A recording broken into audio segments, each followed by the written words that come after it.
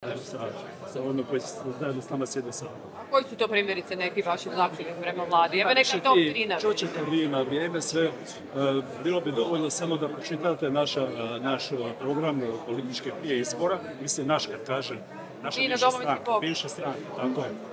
I mi smo i dalje na čvrsto na tim pozicijama. Uostalom, ovaj lom koji se dogodio u pokretu je posljedica toga što je stranka nakon izbora odostala od svih svojih predizbornih obećanja. Mi koji smo se danas ovdje okupili ne pristajemo na to, mi dalje inzistiramo na implementaciji naših obećanja i ako to bude prihvatljivo vladajućima, mi smo tu.